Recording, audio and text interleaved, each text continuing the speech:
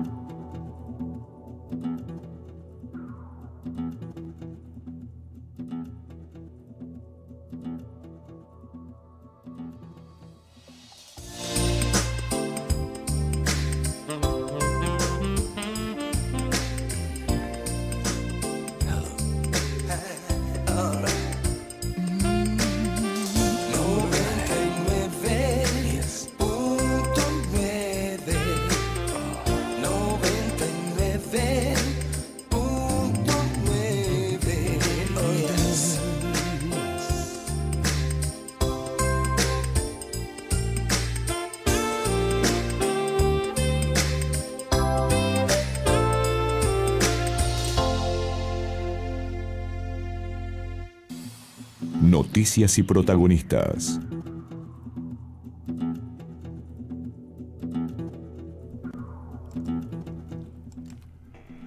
Bueno, aquí estamos, siete, un minuto en el territorio nacional de la República Argentina. Estamos en esta mañana de la ciudad de Mar del Plata. Estamos llevando adelante. eh, muy difícil, muy difícil la mañana, muy difícil. Este, el arranque. Esto pasa porque vos llegas sobre la hora y me complicas la vida a mí con todo lo que, con todo lo que yo tengo que hacer. Todo lo que tengo que hacer. Eh, preguntan qué pasó con Torres y Liva, como para ir iniciando. Bueno, lo que pasó con Torres y Liva para ir iniciando es sencillamente que allí se desató un incendio de proporciones. En este momento hay una guardia de cenizas de, de los bomberos. En ese eh, en esa guardia de cenizas este, hay una, se está haciendo una evaluación, evaluación que tiene que ver básicamente este, con la cuestión que está vinculada a pensar en cómo se va a manejar eh, el, derrumbe de lo que queda, es decir, hay peligro de derrumbe, eh, van, a, van a ver cómo hacen para manejarlo del mejor modo posible. Esto tiene que ver este, básicamente digamos, con la cuestión al respecto de el, deterioro definitivo en el que ha quedado el edificio. El, incendio yo creo que es un incendio eh, como no se había dado, este, estoy convencido, en Mar del Plata en esa proporción, por lo menos me atrevo a decir en el área este, urbana, eh, desde el incendio de Tienda Los Gallegos. No creo que haya habido algo igual en Mar del Plata desde aquel, desde aquel momento. Eh, afortunadamente, y esto hay que decirlo con todas las letras y por todo lo alto, afortunadamente, eh, no hay este, ninguna situación personal que lamentar en el sentido de la vida de las personas. Sí, por supuesto, todos y cada uno de ellos este, van a tener este, por delante una situación completamente delicada porque ha quedado todo, todo, todo, todo destruido, el edificio no sirve más. Allí, además del funcionamiento de, mm, de la empresa Torres y Viva, este, sobre eh, esa, eh, esa estructura eh, funcionaba y estaban un- una cantidad de departamentos, la verdad que todavía no sabría decir cuántos este, departamentos en este sentido, pero este, está claro que la situación eh, por demás es una situación completamente este, eh, compleja y delicada para, para todos ellos. Eh, estamos esperando, este, digamos, una cantidad de, de- de datos que, bueno, tienen que ver este, sencillamente con algo que es eh, con- concreto y, práctico de, de todos los días, en este sentido, que es la evaluación de daños. La evaluación de daños, yo estuve, eh, digamos, nosotros estamos acá, a tiro de piedra, literalmente, en el lugar. los daños son totales, el edificio va a ser este, derribado, no tengo ninguna duda. Eh, hay equipo de la municipalidad allí alrededor, se, ha traído gran equipo, una colaboración fuerte, importante y vital, diría, de la, de la gente de Materia Hermanos, que aportó dos camiones cisterna con 25 mil litros cada uno. Esto pone una vez más en escena este, la necesidad de ir a un tipo de equipamiento más importante en la ciudad de, Mar del Plata en relación a la cuestión de la dimensión este, de lo necesario al respecto de, lo que hace falta verdaderamente para poder encarar este tipo de, cuestiones. Esto, por supuesto, se transformó para nosotros, para Mar del Plata, en las últimas horas, este, en, un hecho de, características este, centrales. Claro está, eh, pero obviamente desde el pasado viernes han pasado otras cosas. Eh, entre las cosas que han pasado, una de ellas que ocupa un enorme espacio tiene que ver con una situación que devino del clima y ha ocurrido en la, en la ciudad de, Paraná. Una, una, joven paranaense, Fiorella Furlan, este, circulaba este, por esta ciudad cuando el auto fue arrastrado por la crecida del arroyo Antonico en medio del temporal que azotó la ciudad. El vehículo fue retirado a 300 metros del lugar en el que este, fue arrastrado por las aguas. Em, se ha estado haciendo una búsqueda, este, hasta ahora no, no, ha sido posible este, ubicarla, tiene 22 años, circulaba en un Suzuki Fan por la calle Galvez cuando a pocos metros de la avenida Ramírez cayó con su auto desde el puente cuando cruzaba este arroyo que estaba crecido por la fuerte tormenta.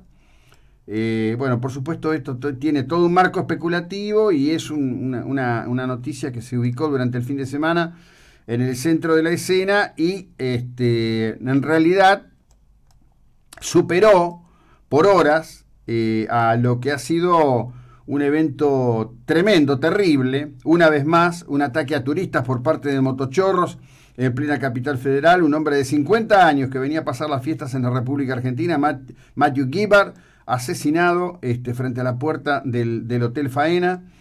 Hay varios interrogantes al respecto de esto. Yo escuché durante todo el fin de semana a los colegas decir, bueno, pero ¿cómo puede ser esta en el área más controlada este, de, la República Argentina? Eh, ¿Cómo es posible? Bueno, es posible sencillamente porque el, crimen sabe camuflarse, porque cada vez que se ha intentado hacer algo en relación al tránsito de, personas este, en relación a las cuestiones este, que tienen que ver con la mm, temática de, lo que ocurre con la circulación este, en motos, una y otra vez, una y otra vez las medidas que eh, se plantean son, eh, son detenidas, son, son literalmente detenidas y no, no se da una, una situación donde vos digas, bueno, en definitiva, eh, vamos a tomar acciones de carácter concreto, vamos a hacer o llevar adelante acciones y o situaciones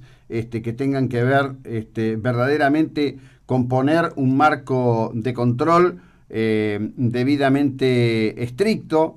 Eh, bueno, todo esto pasa, todo esto ocurre y lo que uno ve una y otra vez es que frente a estos hechos, por supuesto, se habla, se dice, se, se, mm, expresan cosas, pero después, este, la verdad, eh, no, no, hay, no hay una respuesta de que, vos digas, este, vamos a ser efectivos con esta cuestión. Hay que decir que en las últimas horas, y en relación a este hecho, este hecho absolutamente tremendo, el asesinato de este ciudadano británico, como dije, Matthew Gibbard, quien estaba junto a su esposa y la familia para pasar la Navidad en Argentina, o fíjate, pobre gente, el resto de su vida, ¿no? Em, se conoce que Gibar era el director de la empresa Ting Den, que ofrece residencias para personas mayores de 45 años, distribuidas por todo el Reino Británico, con base en Wellingborough, este, en el norte de Gran Bretaña, un negocio con un giro estimado de 20 millones de libras esterlinas durante 2018. Este. El, bueno, el, relato literalmente desde su lugar de residencia es que todo el pueblo está devastado. ¿sí? Ayer había muchos comentarios diciendo este, cosas tales como, bueno, esto de ahora en más este, condiciona el turismo internacional. A ver, lamentable y tristemente este, eh, situaciones de este tipo las hay por todos lados. El delito existe, el crimen existe, es choqueante esto que ocurre. Eh, por supuesto, ayer en las redes estaba el, digamos, la controversia de eh, doctrina Chocobar sin doctrina Chocobar aplicado a la acción de Chocobar, que en definitiva tuvo que ver con el ataque a un turista, en ese caso un ciudadano norteamericano, la acción rápida de Chocobar y que esta persona pudo salir con vida. Este podría haber sido un ataque de motochorros sin ningún este, resultado dañoso en términos de, una vida. Lo fue. Eh, es, es absolutamente lamentable y triste, pero no define lo que hay que hacer. Lo que define lo que hay que hacer es la pregunta. Ahora en la mañana de hoy están diciendo que hay cuatro detenidos a, razón de este tema. La, primera pregunta que hago y la hago una vez más, la cuestión es, ¿por qué falla del modo que falla la inteligencia criminal en la Argentina? Sencillamente porque no la hay, porque está mal vista, porque los recursos de inteligencia se gastan en otro tipo de cosas que no tienen ningún sentido. Dicen, entender ahora que todo estuvo planificado cuando la familia Gibar aterrizó en Ezeiza, se subió a la combi, ya los habían marcado. La combi se detuvo en el Hotel Faena, en el barrio fuertemente controlado de Puerto Madero. No es la primera vez que esta banda actuaba de este modo, se sostiene hoy, pero que en este caso el desenlace fue fatal. Dos vehículos siguieron a Matthew Gibar, al resto de su familia. Al bajarse quisieron asaltarlos, apareció una moto junto a los dos coches y empezaron a los tiros. Este grupo, dicen, estaba en la mira de la policía por un hecho similar hace un mes y medio. Atacaron a un ejecutivo canadiense en el Hotel Intercontinental en Moreno 800. Hay cuatro detenidos acusados de integrar la banda que asesinó a Giver y valió a su hijastro Stefan Josephson de 28 años. El grupo operaba detectando turistas que podrían traer dólares en efectivo. Eh, le tocó este, a este ciudadano británico. Eh, se movían en un Chevrolet Corsa Classic gris oscuro, un Ford Fiesta rojo. Todo esto quedó graficado por las cámaras de seguridad que seguían a la camioneta desde el Aeropuerto Internacional de Ceiza. La moto apareció en Capital ya con el alerta de operativo en marcha. Em, en este sentido, este, todo el registro, ustedes habrán visto estas imágenes hasta el cansancio en las últimas horas en la televisión, muestra que el vehículo Corsa este, se detiene en, una esquina próxima, de ahí baja el primero de estos criminales, sería quien le disparó este, a, a y a su, hijo, lo ayudó un cómplice en moto que tenía el casco puesto, este el tirador intentó volver al auto rojo, pero no pudo, se subió a la moto, escaparon los tres. Eh, hay que decir que estamos hablando de criminales, ¿no? Porque yo veo los términos que se usan. Estamos hablando de criminales, de personas que no dudan en llevarse la vida de otros si no obtienen lo que están buscando. Pero no fue esto lo único, porque en el fin de semana, en la ciudad de La Plata, hubo un hecho de características criminales aberrantes y esto, de una vez por todas, debiera llevar a una profunda reflexión al respecto de qué sirve un servicio de seguridad, qué implica un servicio de justicia, qué implica un servicio penitenciario.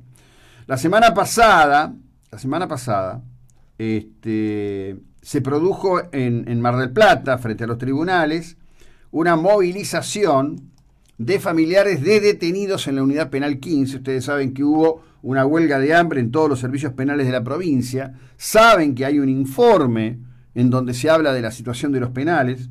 Habrá que trabajar, habrá que hacer, habrá que resolver. La otra jugada que hay permanentemente es decir que el porcentaje más alto de personas que están en detención están sin condena. Bueno, estamos volviendo a los predicamentos de la época del 2 por 1 Estamos volviendo, circulando, no resolvemos el tema del crimen, no se resuelve el tema de la justicia, no se resuelve el tema de las prisiones, a la gente la siguen matando, la siguen expoliando y la siguen robando. Hay mucho para hablar hoy y de política ni que hablar. Seguimos en un instante.